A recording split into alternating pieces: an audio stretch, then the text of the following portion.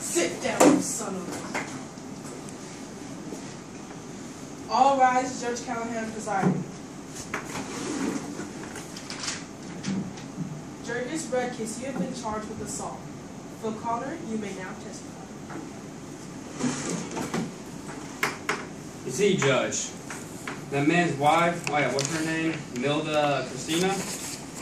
No, no, no, it's not. Oh yeah, her name's Ona. I'm sorry, Your Honor. They all blend together. Anyways, his wife worked in the department next to me. We ended up laying, laying her off for important to me. I'm working working the rest of my shift, and a half hour later, he just attacked me, knocked me down, and nearly choked me to death. We have witnesses, Your Honor. That won't be necessary. You admit to attacking the plaintiff? Him? Yes. Yes, sir, I hit him. Say, Your Honor. Your Honor. You tried to choke him? Yes, sir, Your Honor. You ever been arrested? No, sir, Your Honor. What do you have to say with yourself?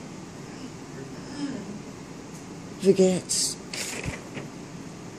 He says the plaintiff used his position to make advances.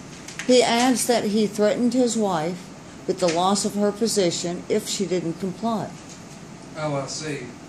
Well, if you made love to your wife, why didn't she complain to the superintendent or leave the workplace? He says they are very poor and she could not afford to lose her place at work. It, work is hard to come by. I see. So you decided to knock him down? Is there any truth to this story, Mr. Connor? Not particularly, Your Honor. It's very unpleasant they tell tell you some such tale every time you have have to discharge a woman.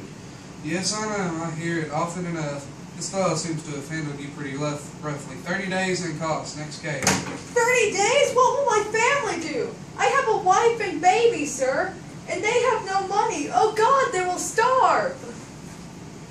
You should have you should have done well to think about them before you committed the assault. Oh, what will my family do? Without me, they shall surely starve. That little Irishman Con- Connor and his friends are surely going to bring ruin to them because of me. And what will happen to Antanas? I do not want my child to suffer through this long winter that we worked so hard to prepare for. Marija, or Ter- Tara's Elsba. They were doing so well at their jobs, but because of me, they're going to get fired. I don't want any more of the children to have to give up school to go to work. If only I had listened to Ona and not fought him. But I needed to hurt him. He needed to pay for hurting Ona like that. That man deserved to die. I only wish I hadn't. My only wish is that I had killed him. I don't understand how he got away with what he did to my sweet, sweet Ona.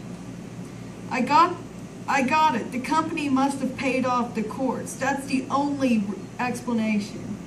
They are allowed to do as they are pleased while I'm left to rot and my family goes hungry.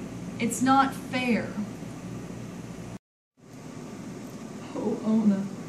Ona, please forgive me. I shouldn't have gone to fight. I just shouldn't have. Oh, Ona, why didn't you tell me this was happening? I'm your husband. It's my job to protect you. Oh, little Aditus. My baby, what are you going to do growing up without a dad, going hungry? You're too young for this kind of world. Too young.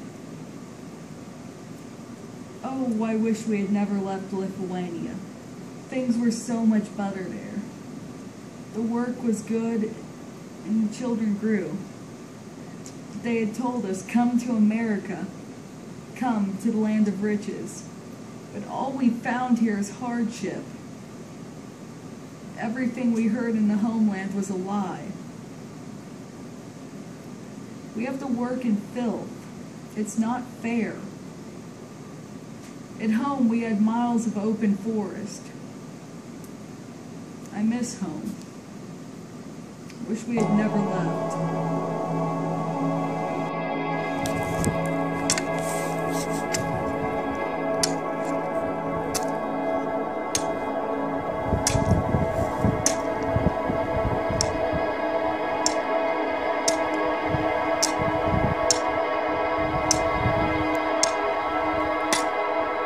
was alone in dark December.